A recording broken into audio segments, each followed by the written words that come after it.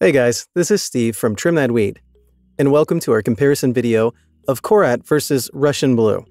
Watch till the end to find out how these cat breeds differ. So, the main difference between Korat and Russian Blue is their fur type.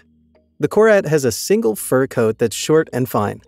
It's light at the roots, darker in the middle, and silver at the tips. This gives the cat a sparkly appearance in the light.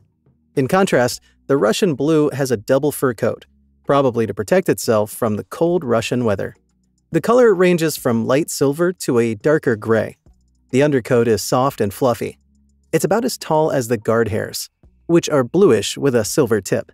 Therefore, the Russian blue feels softer than the Korat. Personality Korats are generally playful and intelligent cats. They'll demand your attention and affection by rubbing their paws or vocalizing their displeasure. Additionally, Korats hate being alone making them perfect for stay-at-home owners and freelancers looking for company. Conversely, Russian Blues are independent and calm. They don't take to people quickly, making them appear timid. However, they become affectionate and loyal once they're familiar with you. Furthermore, they don't mind being alone.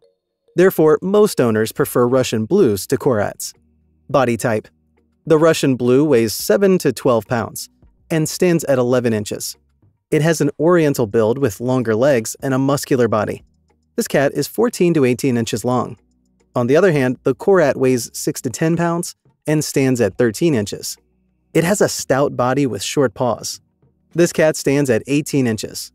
So in this case, the Russian Blue is lighter, making it the perfect lap cat for movie nights. Comparison table. From the table, it's evident that the Russian Blue has a longer lifespan. Its wedge-shaped face gives it an oriental vibe that some owners like. On the other hand, the Korat seems chubby and cute because of its heart-shaped face and shorter ears. Similarities. Both cats are intelligent and easy to train. Additionally, they're hypoallergenic, making them accessible to more people. Verdict.